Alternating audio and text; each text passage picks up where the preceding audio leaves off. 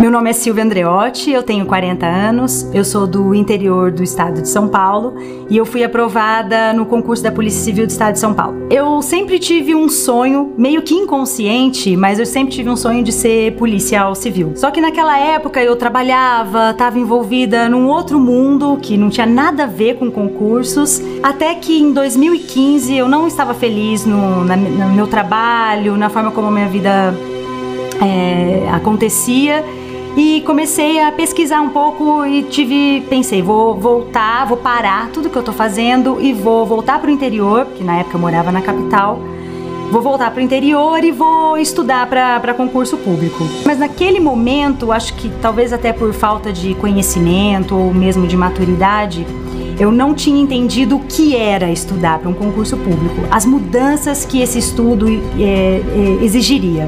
Nesse momento eu recebo uma proposta para trabalhar na Argentina, para ir morar, para passar dois anos na Argentina. E foi quando eu parei de estudar, fui para a Argentina em 2016 e 2017 e comecei uma vida por lá. Em meados de 2017, eu já senti uma necessidade, sabia que iria voltar para o Brasil e senti uma necessidade de ter um foco. O que eu vou fazer quando eu voltar para o Brasil? Vou voltar para a área privada ou vou criar coragem mesmo e me dedicar ao concurso público? Porque as pessoas elas não valorizam quem estuda.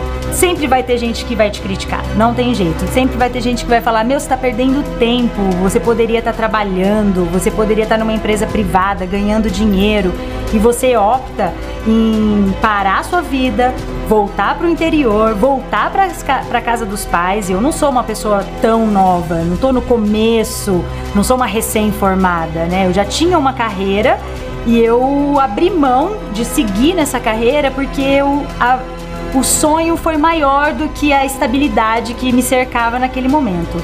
É claro, eu sou uma privilegiada porque eu tenho uma família muito presente, mas a coragem de assumir o que eu queria para mim foi minha, de mais ninguém. Eu sabia que eu tinha um apoio, mas eu sabia também que ou eu assumia o meu sonho, ou talvez eu fosse uma pessoa frustrada. O GRAM veio por coincidência numa dessas pesquisas pelo YouTube e eu adorei a aula de, de um juiz, que é o Aragonês. Bom, acabou que eu me interessei, gostei dos professores que eu tive acesso e a minha mãe me presenteou com uma assinatura ilimitada. E eu comecei a estudar todas as vezes que de repente eu estava mais cansada, um professor soltava uma piada ou ele falava uma era uma aula tão interessante que eu me apaixonei, eu sou uma apaixonada por videoaulas. Uma das grandes vantagens de ser aluna do Gran Cursos Online é a democratização do ensino. Em qualquer horário, em qualquer lugar, eu tenho acesso às melhores videoaulas. Eu lembro que o primeiro concurso que eu fiz que foi para segurança pública, foi para investigador lá de Santa Catarina, foi logo que eu voltei para o Brasil. Eu fui super bem em português, fui super bem na parte de direito, é, raciocínio lógico mais ou menos, mas chegou em informática, eu fui reprovada. Já sabia que eu estava fora do concurso e naquele momento, ao invés daquilo me, me fazer com que eu quisesse desistir do concurso, eu falei: não, informática não vai ser o meu pesadelo. Passei a estudar informática todo santo dia. Comprei um cursinho específico ali para informática com, no, no GRAM e todo dia eu estudava informática. Foi a partir do, do Gran Cursos Online que eu vi que eu não estava estudando sozinha. O acesso ao professor ele é imediato. Muitas vezes eu mandava uma mensagem, seja na, pela própria plataforma ou na, na rede social desses professores. Nossa, eles respondiam assim, como se fossem velhos amigos. Nossa, lá de casa não tinha nem como imaginar o tamanho da estrutura para tudo isso funcionar. O GRAM foi de fundamental importância na minha aprovação e está aqui em Brasília agora, podendo ver toda essa galera trabalhando para tudo isso acontecer, nossa, é emocionante. E no final, agora, eu acabei sendo aprovada em oitavo lugar para agente de telecomunicações, onde mais da metade da prova era informática. Isso para mim foi uma conquista maravilhosa. Foi um concurso com várias fases, né? E a cada fase eu ia me superando. Na prova oral, quando você sai da prova oral, você já tem uma boa ideia do, do resultado. Afinal, é a última fase. Eu saí de lá com uma felicidade tão grande que a primeira coisa que eu fiz foi ligar para minha mãe, que assim, a minha mãe, ela é tudo na minha vida. Ela é a minha incentivadora ela é minha amiga. Então, falei, mãe, deu certo, a gente passou. Eu tinha, sabe, aquela sensação boa? Se não fosse ela, eu não tava aqui hoje conversando com o Gran Cursos Online. Uma coisa que eu fiquei extremamente feliz é que a polícia, a Polícia Civil, ela tem o, o próprio plano de saúde. E meu pai e minha mãe agora vão ser os meus dependentes. Então, de uma certa forma, é, um, é, uma, é uma possibilidade que eu tenho em oferecer alguma coisa em troca por tudo que eles sacrificaram para eu estar aqui hoje. Saber que os meus pais estão felizes pela minha conquista é o maior prêmio. Eu sou Silvia Andreotti, sou aluna do Gran Cursos Online, sou do interior do estado de São Paulo e fui aprovada para as carreiras de investigador de polícia e agente de telecomunicações da Polícia Civil do estado de São Paulo. Eu sou Gran, todo mundo pode. Como mãe de quatro filhos, a assinatura ilimitada do GRAM foi essencial, porque ela estava comigo aonde quer que eu fosse e o que eu estivesse fazendo, eu podia fazer assistindo uma videoaula, ouvindo um áudio, tinha um PDF ali para uma leitura rápida, o cronograma com meu material todo organizado. Meu nome é Bárbara Vale, aprovada em primeiro lugar para o Tribunal de Justiça do Estado do Pará. Eu sou o GRAM e todo mundo pode.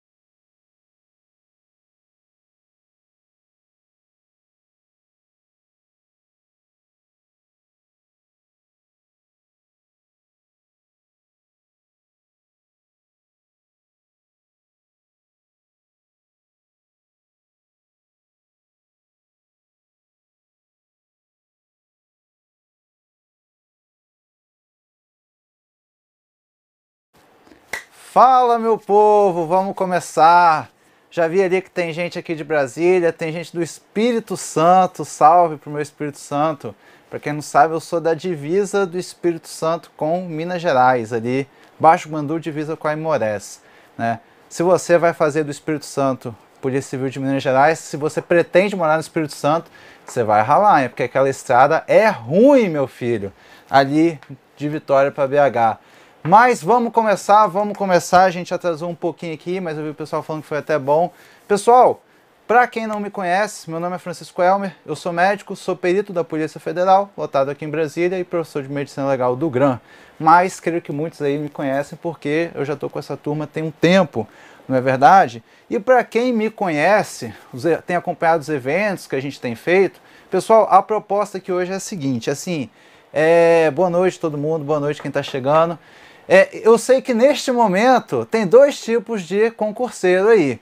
Tem aqueles que estão nervosos e tem aqueles que estão muito nervosos, porque está chegando o dia da prova. Calma, é normal, é normal. Pessoal, qual que é a proposta? Não é inventar nada de novo aqui, ó, oh, que a gente não fez. A proposta é o seguinte, tem uma aula, treinamento intensivo PCMG. Se você não viu e você é assinante ilimitado, procure na plataforma. É para delegado tá? Ela foi gravada para delegado, mas se aplica para você. Então são ali, é, vai ser uma hora de aula, beleza? São ali, sei lá, sete, oito blocos que a gente revisa os principais pontos.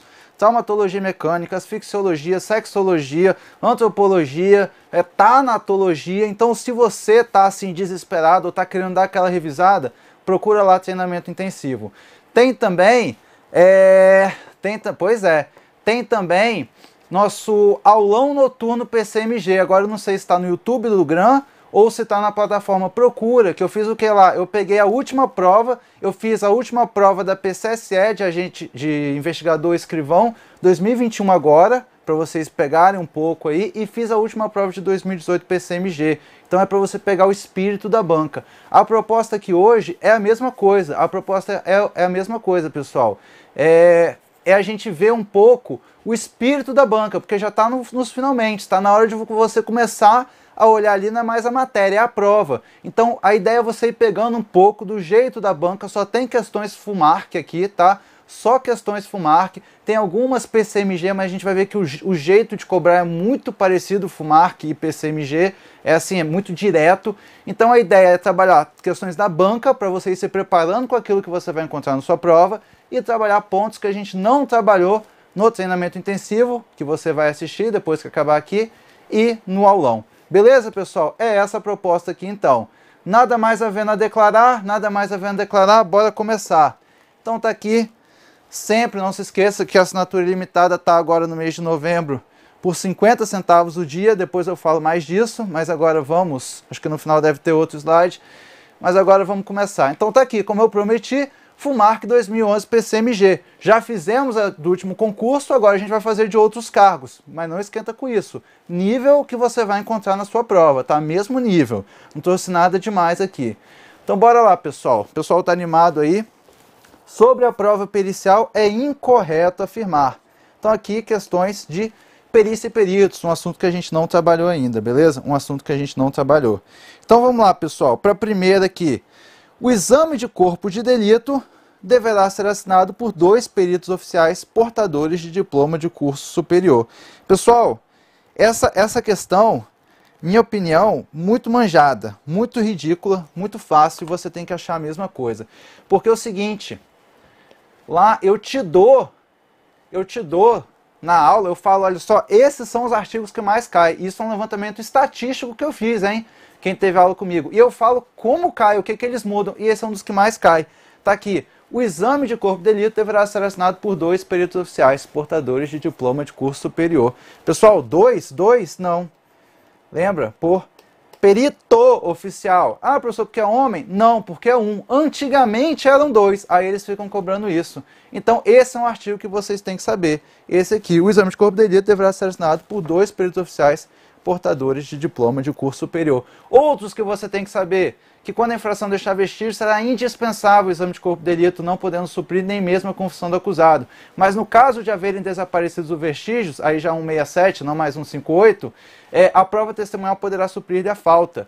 que mais que tem ali de relevante? Esse daqui dos dois peritos oficiais e que, na falta do perito oficial, serão nomeadas duas pessoas idôneas portadoras de curso superior, aí sim duas, com é, diploma preferencialmente na área, não obrigatoriamente, tá bom? Então cuidado, esses são os artigos que mais caem. O resto aqui, pessoal, muito fácil. O exame de corpo de delito poderá ser realizado a qualquer dia, a qualquer hora, perfeito, inclusive aos domingos. Eles vão falar que não pode ser realizado aos domingos, que não pode ser realizado aos sábados. Gostam muito de falar que não pode ser realizado à noite, porque tecnicamente não seria bom, mas nada disso. Nada disso, tá bom? Que isso não pode ser realizado fora do horário de plantão, nada disso, pessoal, tá? Então, tá certo aqui. A autópsia será realizada em regra 6 horas após o óbito. Cuidado que às vezes eles mudam aqui, põe, sei lá, 12. Tá errado, tá bom? Então, 6 horas é aqui que eles mudam. E essa daqui a gente não trabalha muito, mas nas perícias de laboratório, os peritos, os peritos guardarão material suficiente para a eventualidade de nova perícia. Essa é a contraprova. Mas aqui, pessoal, né, quem estudou lá comigo sabe que essa letra A está muito errada. Está muito. É, é, é, é, essa questão, você já vai procurando ali o número de peritos oficiais, que sabe que é ali que vai mudar a coisa, beleza? Bora! FUMARC 2014, o registro da anamnese do paciente, dos cuidados médicos e dos documentos relativos à assistência prestada é denominado, é denominado, vai dar um tempo para vocês chutarem, só voltar na outra aqui para comentar daqueles outros artigos que eu falei que mais cai. Artigo 158. Quando a infração deixar vestígio, será indispensável o exame de corpo de delito. Eles vão falar que é dispensável. Não podendo suprir a confissão do acusado. Eles vão falar que pode suprir a confissão do acusado. Na, é, na falta do exame de corpo de delito por haverem desaparecido os vestígios, a prova testemunhal poderá suprir a falta. Eles vão falar que nem a prova testemunhal pode suprir a falta. Beleza? Então aqui, vocês já estão chutando aí. Pessoal,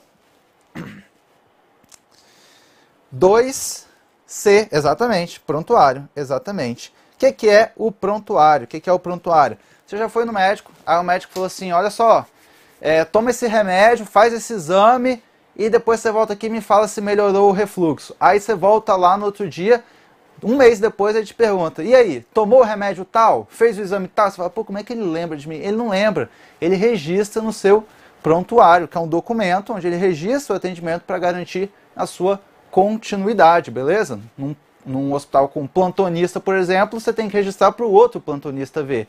Agora eu chamo a atenção. O que, que é importante aqui? Pessoal, de longe, esse daqui, olha, o relatório.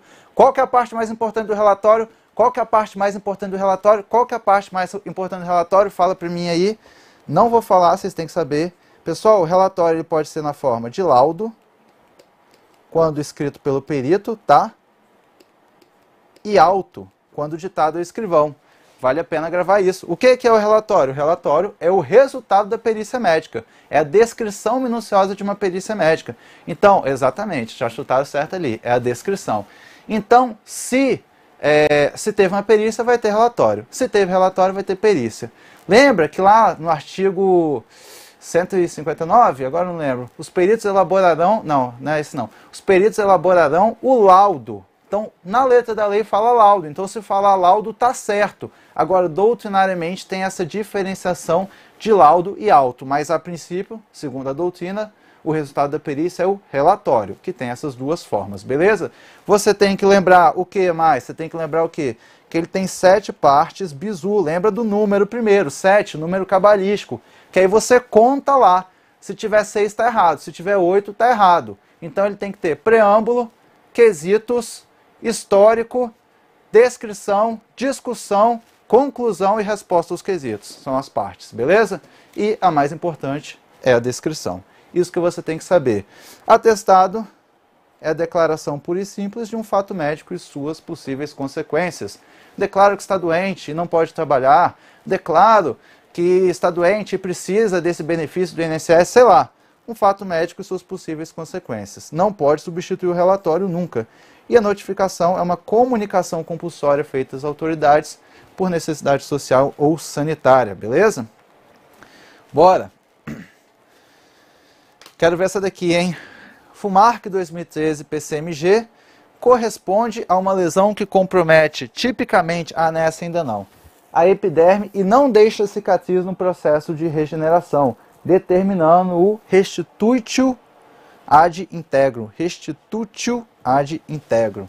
Enfim, latim aí. Pessoal, compromete a epiderme e não deixa cicatriz. E aí? Qual que é essa? Qual que é essa daí? Equimose, escoriação, petéquia, víbice. Pessoal, pessoal, vamos lá. Essa daqui, é o que eu falei, eu vou trazer questões que cobram pontos diferentes do que eu já cansei de abordar lá no treinamento intensivo. Assiste o treinamento intensivo, são 7 ou 8 aulas, blocos só, tá bom? Pessoal, pessoal, a gente trabalhou muito equimose, não é verdade? Lá, acho que eu fiz questão de equimose, fiz questão de equimose também no aulão noturno com vocês. Então aqui, pessoal, gabarito, a gente está trabalhando outra lesão, que é a escoriação. Né? Palavras-chave aqui, epiderme. O que, que é a escoriação? Você tem lá as camadas da pele e você tem uma aqui mais superficial. Aí quando a ação contundente, em vez dela agir assim, ela age assim, ó, tangencialmente, por deslizamento e não por pressão ou percussão, ela arranca essa camada mais superficial da pele, que é a epiderme. Epi de acima, exatamente, é o ralado.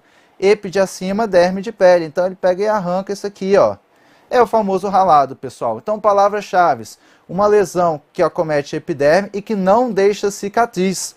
Não que a equimose deixa cicatriz, mas percebe, eles não costumam cobrar isso da equimose. Então, se eles estão cobrando isso, já te chama atenção para qual? Para escoriação, porque ela não deixa cicatriz, tá? Ela não deixa aquela camadinha da pele, ela tem a capacidade de se regenerar. Todo dia a gente vai perdendo, é, vai descamando pele aqui no contato com a roupa mesmo e ela vai se regenerando. Ela não deixa cicatriz tá bom?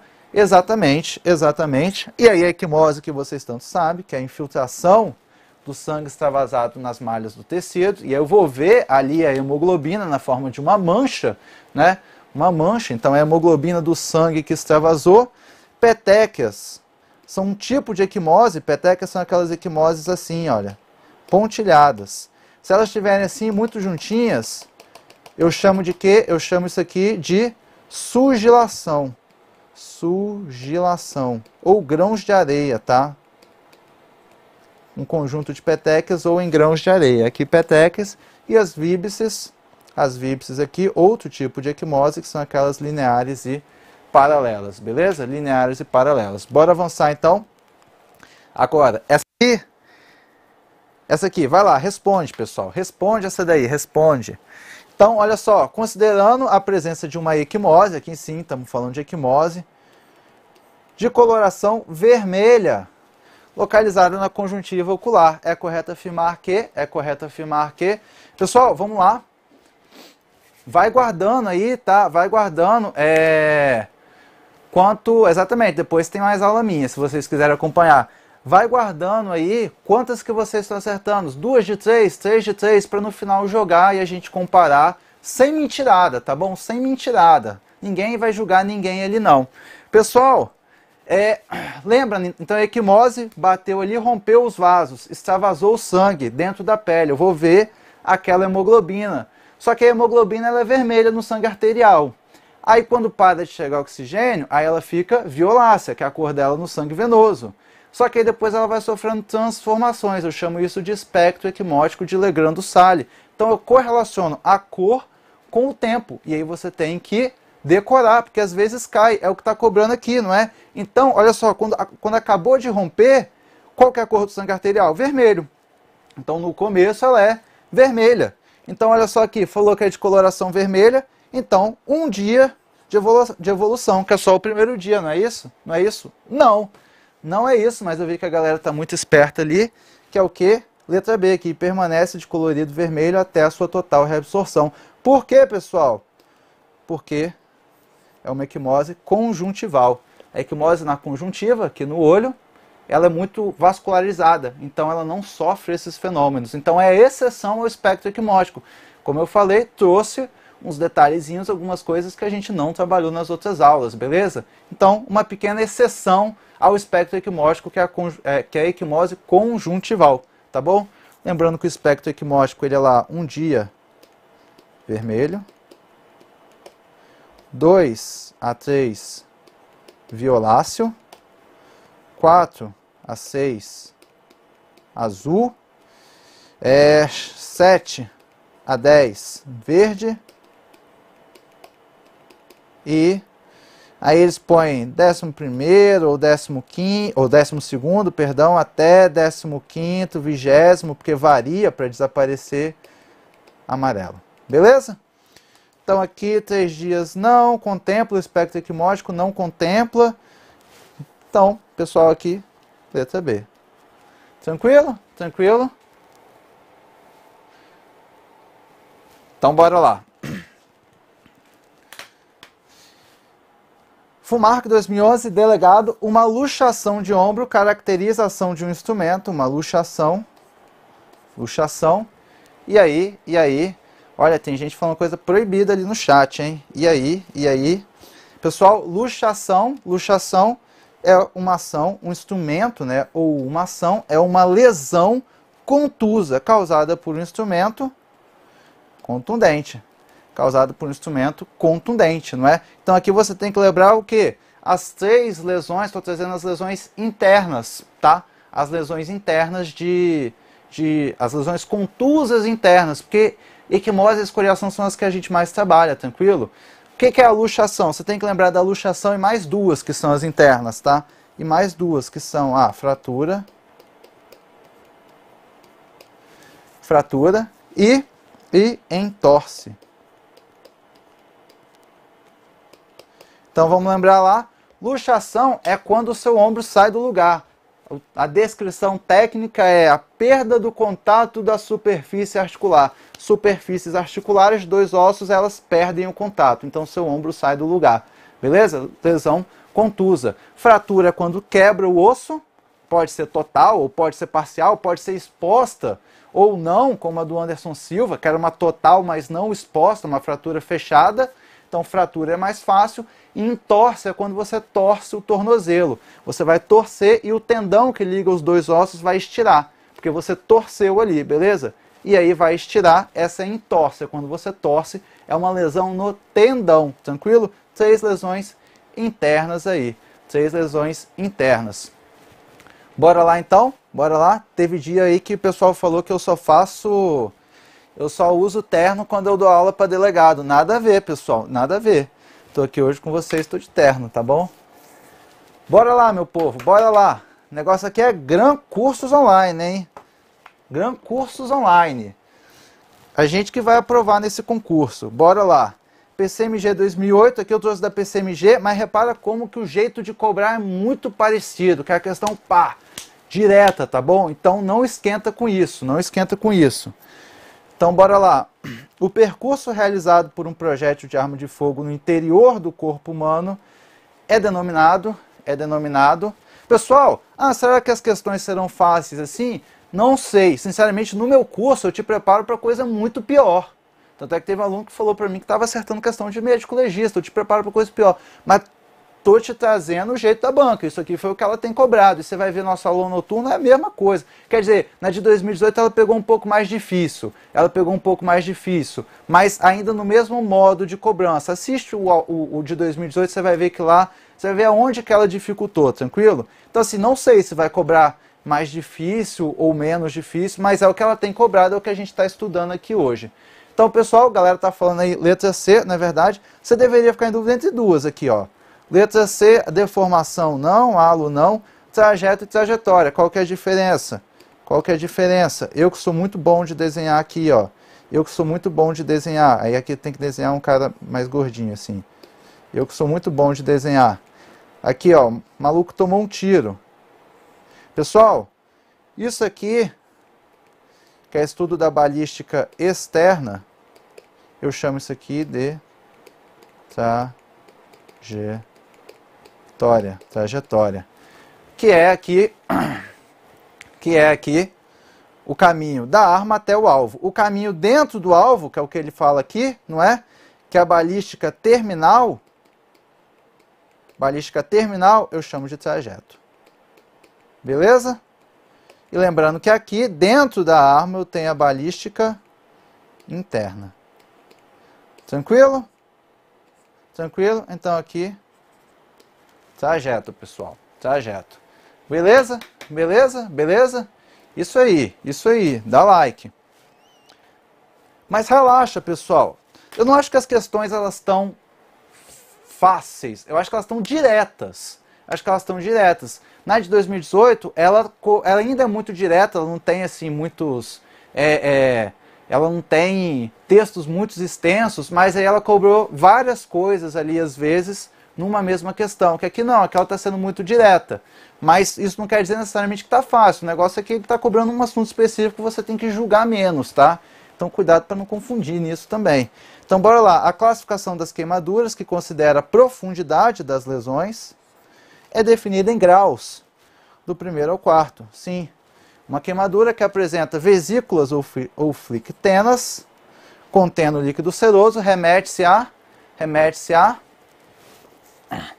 minhas aulas, minhas aulas estão no curso, estão no curso de escrivão e investigador e não sei se estão no curso de Delta, mas tem o curso para Delta. Acho que tem algumas aulas minhas no curso de Delta, porque, enfim, teve um problema na plataforma, você encontra minhas aulas lá. Tá bom? Tá bom? Pois é, aqui é mais direto a coisa. Pessoal, pessoal, bora lá. Exatamente, a galera, pô, a galera tá afiada demais. Eu devia ter trazido umas questões aqui, FGV, CESP, umas coisas assim. Mas vamos estudar FUMAR, que a banca é FUMAR, né? Tomara que venha então, de um jeito que vocês dominem, igual vocês estão dominando. Segundo grau. Por quê? Qual que é o segredo aqui? Vesículas ou flictenas, tá bom? Vesículas ou flictenas, que é sinônimo de bolha, tá? Flictena é nome chato para bolha. Bolha.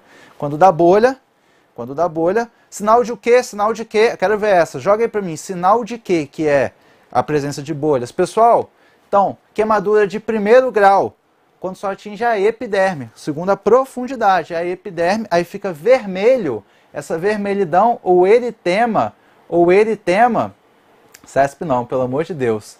É, essa vermelhidão ou eritema é o sinal de Christensen, que é queimadura de primeiro grau. Na de segundo grau, ninguém falou para mim ali ainda, ninguém falou para mim. É... Na de segundo grau, o que acontece é quando você vai na praia, mexe ali no limão para jogar no camarão e não lava, e tem que lavar com detergente. E aí dá bolha, exatamente. Sinal de Chambert. Então, quando dá bolha, segundo grau, atingiu a derme embaixo da epiderme. E aí, quando atinge a hipoderme, a camada mais de baixo, é porque tem um delayzinho, mas eu estou vendo todo mundo sabe. É, aí, quando atinge a hipoderme, fica uma escada negra e coriácea, terceiro grau. E o quarto grau é a carbonização completa, tranquilo? Carbonização completa. Então, tá aí, segundo grau, sinal de Chambert, tá? Vou escrever aqui, sinal de Chambert, que depois se vocês quiserem né, ficar aí com material para revisar, tá aí. Bora! A eletricidade natural ou cósmica, reportando ao capítulo das energias lesivas de ordem física, agindo letalmente sobre o homem, denomina-se. Ó, escrivão, hein? Agindo, então, eletricidade natural ou cósmica, agindo letalmente sobre o homem. Essas são as informações chaves que você precisa para resolver. Pessoal, pessoal, pessoal, olha só, eu tenho dois tipos de energias. Eu tenho dois tipos de energia. A natural ou cósmica, vou botar aqui natural ou cósmica.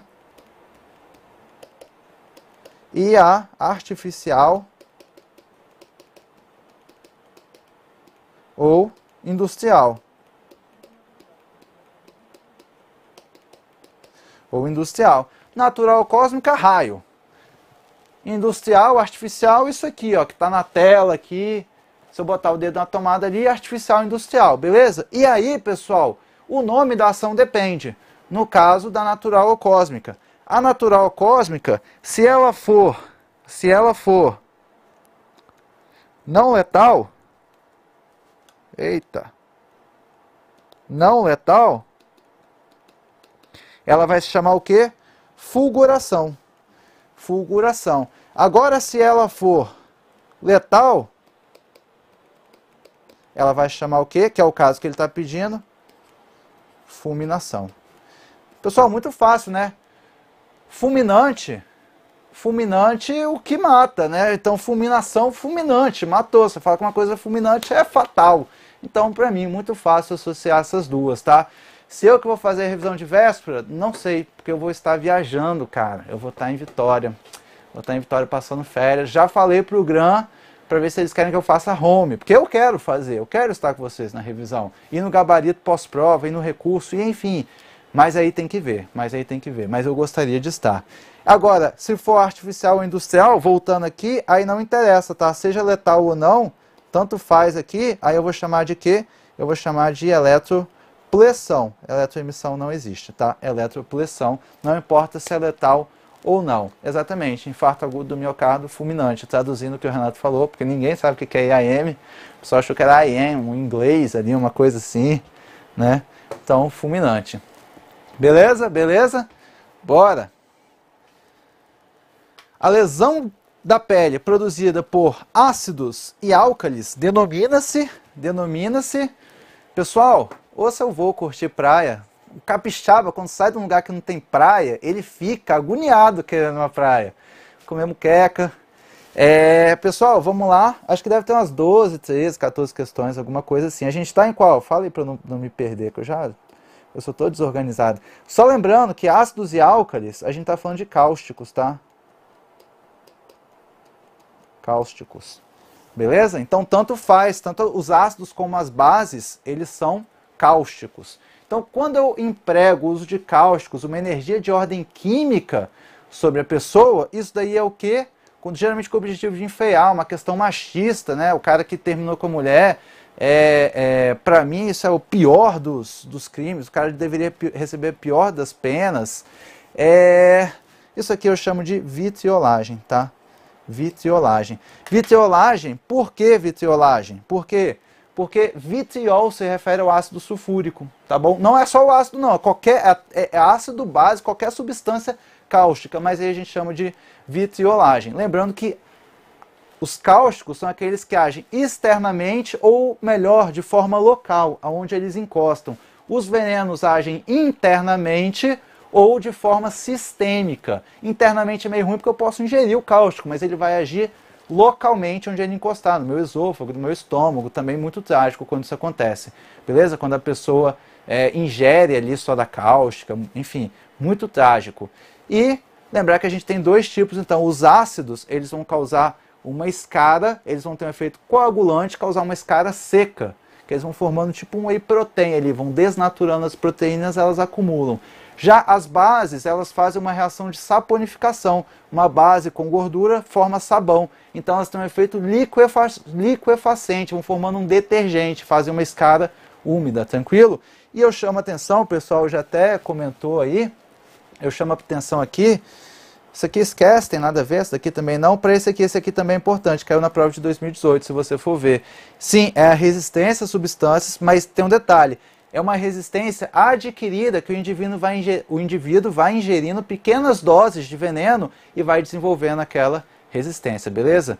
Grava esse efeito aqui, grava a mitridatização ou mitridatismo, sinônimos, tá? Dizem que era um rei que provava muito veneno, que ele era muito paranoico, que iam matar ele. Aí um dia na guerra o exército dele perdeu, ele foi se matar e não morreu por causa disso. Tranquilo? Então grava esses dois vitriolagem, mitridatização. Beleza? Beleza? Bora! PCMG, mas enfim, mesma coisa que FUMARC, tá bom? Tá bom? Tá lá. A presença de mancha verde abdominal na parte inferior do pescoço e não na fossa ilíaca direita, como classicamente observamos em outras situações, é compatível com é compatível, pessoal, né? Mancha verde é aquilo que surge no abdômen. Se você dividir o abdômen da pessoa aqui, ó, se você dividir o abdômen da pessoa em quadrantes, ela vai surgir aqui no quadrante inferior direito, que também pode ser chamado de fossa ilíaca direita, tá? A caneta está falhando. Então, na fossa ilíaca direita, que ali é o que? É a putrefação, né? É o início das bactérias comendo a gente, A gente já está na décima. É o início das bactérias comendo a gente ali de dentro para fora, na região do seco, que é uma região do intestino que tem muita bactéria. E ali, o que, que acontece? As bactérias vão produzir no ácido, um gás chamado gás sulfídrico, mas não importa o nome, e esse gás interage com a hemoglobina. Lembra? Hemoglobina no sangue arterial vermelha. No sangue venoso, violácea, azul, porque não está ligado ao oxigênio. No arterial ela está ligado ao gás sulfídrico verde. Então vai surgir uma mancha verde na fossa ilíaca direita ou no quadrante inferior direito que marca o início da putrefação. Lembrando que a putrefação, você tem que saber aquela ordem. A gente não vai ter tempo de revisar tudo, mas você tem que saber. Fenômenos abióticos imediatos, consecutivos, que são quais? Algor, livor, rigor, desidratação. Transformativos, aí tem os destrutivos e os conservadores. Normalmente ocorrem os destrutivos, que são autólise e putrefação. A primeira fase é essa fase que o cadáver vai ficando colorido, fase de coloração, começa com a mancha verde abdominal no quadrante inferior direito ou fossa ilíaca direita. Mas, mas, eu achei bizarro que ele fala a presença de mancha verde abdominal no, no pescoço. Né, ficou meio estranho. Fala assim, mancha verde, mas mancha verde abdominal no pescoço é meio estranho, né? Mas o que, que ele quis dizer? Ele quis dizer que lá no afogamento, então isso aqui ocorre nos afogados, né? Galera aí acertou. Lá no afogamento, o que, que acontece? O afogado ele ingere água, água contaminada, né? Água do, sei lá, do, do, do mar, da, do rio ali, água contaminada. E além de ingerir, o que, que acontece? Ele tem uma tendência de ficar de cabeça para baixo, né? Porque está mais pesado ali onde ele ingeriu água. Então ele tem a tendência de ficar de cabeça para baixo, o sangue vem, e aí se não tem sangue, não vai formar não vai ter período de coloração onde não tem sangue, vai ter onde tem. Então o sangue vem por gravidade, assim como vem os livores, ele vem por gravidade para a região da cabeça. Então fica acumulado sangue na cabeça, aquela região ali está mais contaminada porque ele ingeriu o líquido contaminado e a putrefação começa ali. É uma exceção que ocorre nos afogados, tranquilo? Então, coisas diferentes que eu estou trazendo. Veja, no outro eu trouxe mancha verde normal. Assiste lá o treinamento intensivo. Assiste lá. Mas tem um treinamento intensivo. Pessoal, muito obrigado. Né? Bom, bom demais saber que eu estou ajudando vocês. Mas, sim, de fato é muita aula, porque o seu edital é muito extenso mesmo. Mas é, assiste o treinamento intensivo, sete ou oito aulas ali, que eu acho que vão fazer você ir para a prova assim, com aquilo que é mais importante, sabe? A gente trabalha bem o que é importante lá. Tranquilo? Bora lá. E essa daí, constituem fatores que interferem na evolução da putrefação cadavérica, exceto, exceto, exceto que. Pessoal, essa aqui, assim, é um assunto complexo, mas eu acho que essa tá mais fácil um pouquinho, porque, pô, olha só, espasmo cadavérico é um outro fenômeno, né, que a gente estudou que não tem a ver com putrefação, né? O espasmo cadavérico é uma rigidez não precedida, ou seja, uma rigidez do fenômeno abiótico consecutivo, não transformativo, como a putrefação. Então ele ocorre de delegado, mas pode ver o de delegado, pode ver, se aplica para vocês perfeitamente. É, o que estava falando? A, a rigidez ela, tem uma, é, ela é precedida de um relaxamento generalizado, de uma flacidez. O espasmo cadavérico não. Ele é repentino, não precedido dessa flacidez, e o indivíduo guarda a posição em que ele foi surpreendido durante a morte. Então eu dou exemplo lá na minha aula, eu dou exemplo lá, ó, eu sabia que ter que ia fazer isso, sabia que ter gente que ia fazer isso, e no resumo. Você pode, você pode usar o resumo, mas não vai só no resumo. Eu falo na aula, não vá só no resumo. Mas eu sabia que ia ter gente que ia fazer isso. Mas, é, mas aí o cara é surpreendido, por exemplo, na minha aula, eu coloco lá a foto de um cara que está morto assim, ó, ele está rígido assim. O que, que aconteceu? Foi um acidente automobilístico onde ele caiu, estava na moto e teve um espasmo cadavérico, essa rigidez abrupta, que não vem progressiva como a outra e não é precedida é, de uma flacidez, tá bom? Tá bom? Sabia que vocês gostam do, do, do meu resumo, que até gente quer fazer isso. Agora os outros, só para a gente entender, temperatura, umidade. Pessoal, o que está acontecendo aqui? Quando você não quer que uma coisa apodreça, você deixa ela onde? Na geladeira. Por que, que você deixa na geladeira? Para reduzir o metabolismo das bactérias. Bioquímica, energia de ativação, não sei o que lá, mas enfim, o metabolismo, quando está mais quente, a bactéria tem um metabolismo mais acelerado. E a mesma coisa aqui. E a mesma coisa aqui. Qual caiu no segundo simulado, que eu não sei? Eu que fiz, mas eu, eu esqueço porque faço para Delta, faço para investigador. Mas dança da motinha, isso aí. Mas aí você deixa no congelador para reduzir o metabolismo. Então tudo que acelera o metabolismo da bactéria vai acelerar a putrefação. Beleza? Então aqui, ó, uma alta temperatura, umidade, umidade onde fica úmido também dá mais bactéria ali, também gera né, é, é, fungo, então também favorece umidade, beleza? Tudo que acelera o metabolismo vai acelerar a putrefação. Tranquilo? E vai acelerar a rigidez também, porque a rigidez, lembra, é o nosso metabolismo da nossa célula ali, né? É o, o, último sinal, não é o primeiro sinal de morte, é o último de vida. Então é a nossa célula no metabolismo anaeróbio que gera rigidez. Então tem essa correlação entre esses dois fenômenos, né? Da temperatura, portanto do resfriamento, do algor, com a putrefação, com a rigidez, porque eles dependem do metabolismo das células, tranquilo? E idade, você fala, ah, que, que idade tem a ver? que, que idade tem a ver? É, o pessoal já está perguntando do resumo ali. O que, que idade tem a ver? Idade porque o bebê ele tem uma maior superfície corporal em relação ao peso. Então ele perde maior calor ali. Tá, beleza? Então tem uma relação com a temperatura na realidade, a idade. Bora, bora, bora. Espasmo. São causas médicas de óbito, não jurídicas. São causas. Pô, olha só, se você assiste, vai fazendo aí, pessoal, se você assiste a minha aula no 1.5, tá bom. Agora, se você assiste no 2, você é um herói, porque dizem que eu falo muito rápido, dizem que eu falo muito rápido, né? Então, enfim. Mas bora lá. Pessoal, essa aqui acho que é relativamente tranquila aí, na verdade, relativamente tranquila. A gente está na décima segunda. Vamos passar mais um pouquinho aqui, tem umas outras questões eu acho que eu deixei. Tá aqui, olha, FUMARC são causas médicas de óbito não jurídicas para delegado, tranquila, na minha opinião, oncológicas, né? Oncológicas. Quando eu falo, ele perguntou, na verdade, ele misturou aqui causa médica, mas o importante é causa jurídica, tá? Então, quando eu falo causa médica, eu estou falando o seguinte, que o que matou foi infecção, que o que matou foi trauma, que o que matou foi câncer, né? Oncológico diz respeito ao câncer, oncologia, né? Você vai no oncologista quando está no, no, Pô, galera, assiste no 2, vocês são heróis. Mas enfim. É, oncológico, então isso é causa médica. Causa jurídica é o quê? Causa jurídica eu vou falar se é morte de causa natural ou violenta, ou suspeita, quando eu não sei. E dentro. E dentro da. E dentro da e dentro da morte violenta eu vou falar homicídio, suicídio e acidente. Homicídio, suicídio e acidente. Beleza? Então tá aqui. Homicídio, suicídio e acidente. Essas são causas o quê? Essas são causas jurídicas. Tranquilo? Essas são causas jurídicas. É... Lembrando, é um pouco óbvio, mas lembrando, né, o livro coloca dessa forma, que uma causa médica pode ter mais de uma causa jurídica. Então eu posso morrer de traumatismo crânioencefálico homicida, porque alguém deu uma paulada na minha cabeça, ou acidental, porque eu fui atropelado por um carro. Eu posso, e da mesma forma, uma causa jurídica pode ter mais de uma causa médica, mas isso é, é óbvio, mas já vi cair em prova.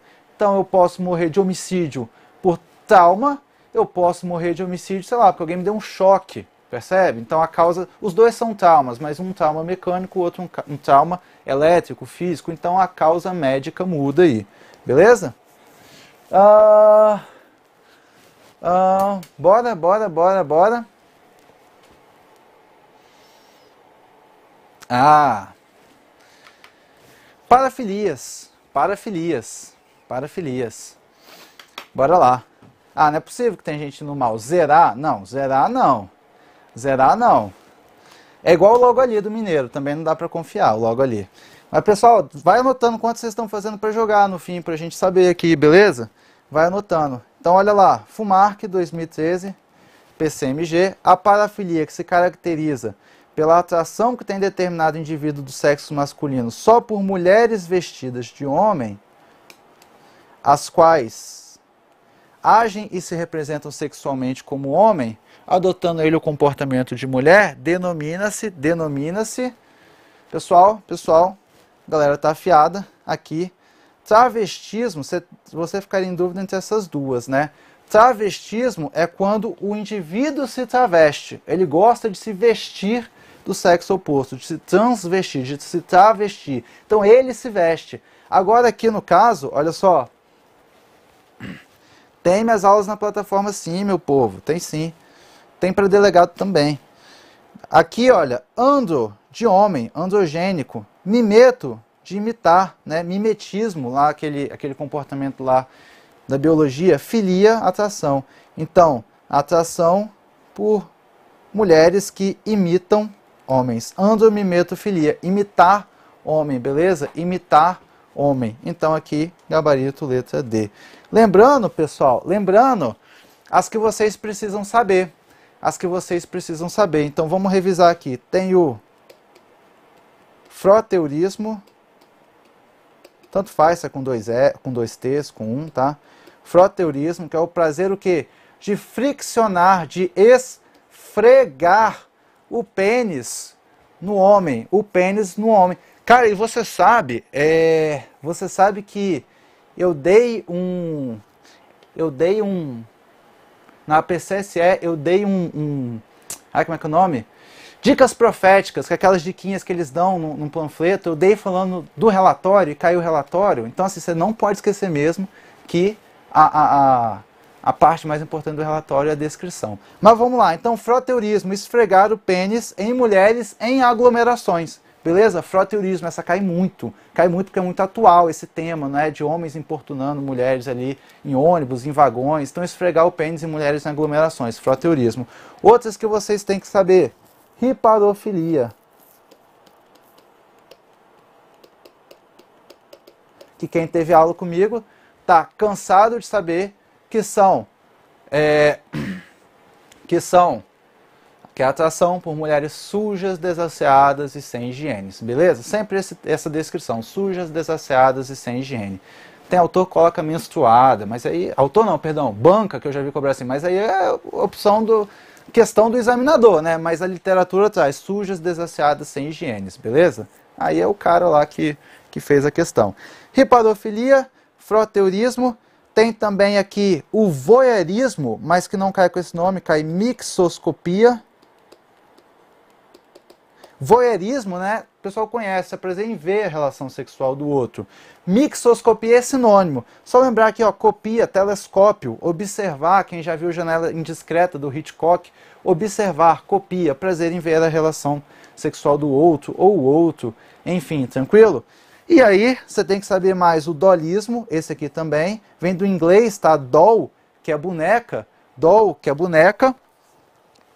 Só que, então, atração por bonecas, dolismo. Só que se for Estátuas, bonecas ou manequim. Se for estátua, aí é outra, tá? Aí eu pigmalianismo. De onde que vem isso, professor? De onde que vem isso? Pigmalhão era um escultor que queria fazer a estátua perfeita. É, e aí um dia conseguiu e se apaixonou por ela. Então vem referência a esse mito aí de Pigmalhão. Pessoal, essas são as cinco que você não pode esquecer. Essas são as que mais caem. Eu falo, na prova da PCSE caiu o quê? Acho que foi froteurismo. Teve uma prova recente que caiu froteurismo. É sempre a mesma, não foi PCSE, não, foi acho que PFOSSE. É, então pessoal, é, cai sempre essa. Vocês têm que saber essas cinco. Só que lógico, né?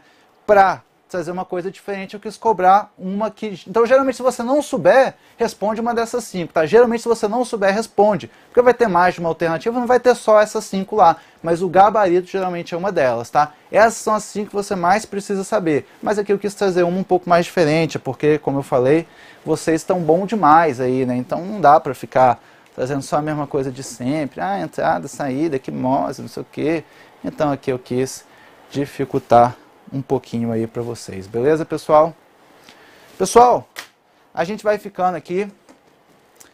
Matéria acabou. Como eu falei, eu não sei se eu vou estar com vocês. Eu já deixei mensagem motivacional aqui para vocês. Primeiro joga ali, joga ali quanto você fez. A gente fez 13 questões, joga. Acertei 10 de 13, 9, 8 de 13, 7. Não precisa ficar com não precisa ficar com é, com vergonha, não, ninguém vai julgar, é justamente para a galera sentir como é que tá aí, como é que foi o nível, beleza, pessoal?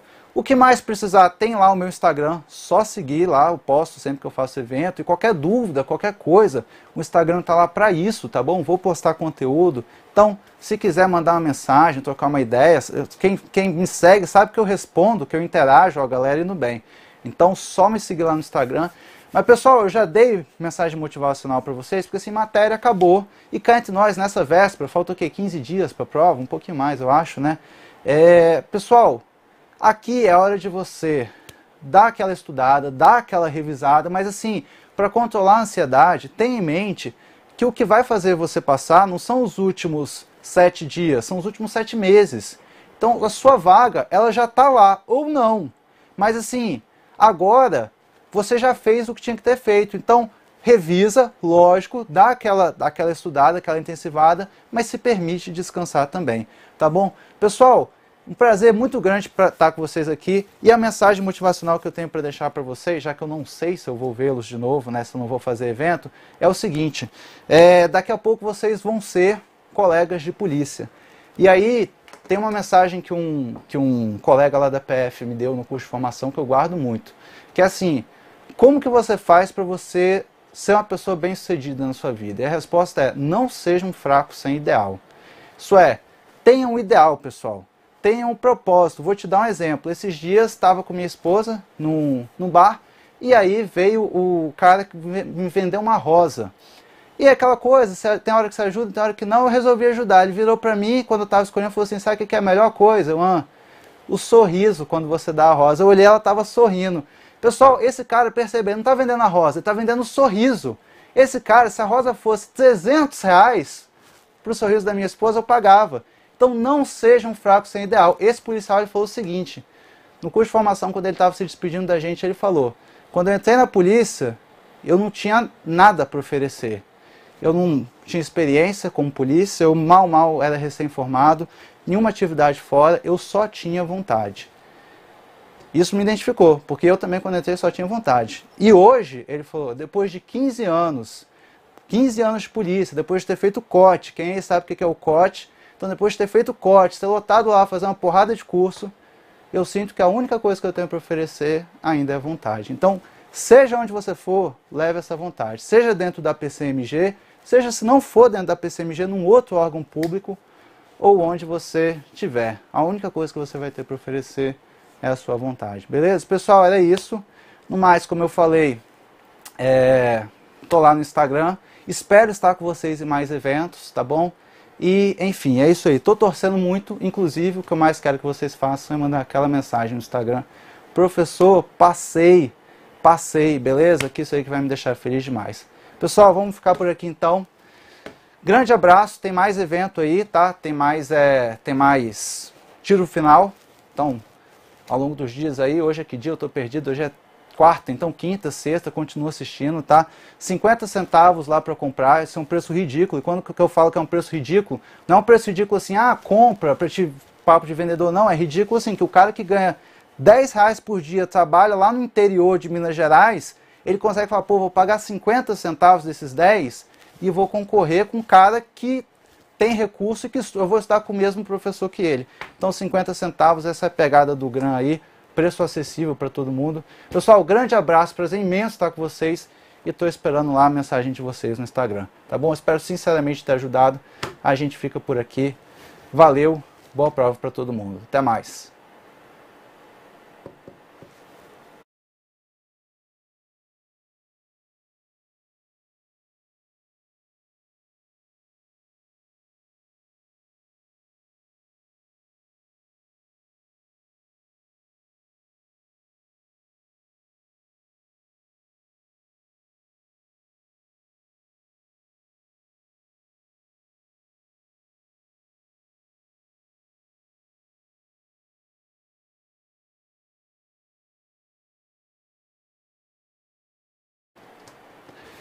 Só para avisar, esqueci. Quem quiser assistir, eu vou começar agora o treinamento intensivo PCMS delegado. A gente vai abordar a parte sexologia e antropologia. Então, se quiser curtir, tá lá. É justamente a proposta intensivão, é o final do treinamento intensivo que vocês vão assistir. Então, se quiser já aproveitar o embalo, bora. Valeu, galera.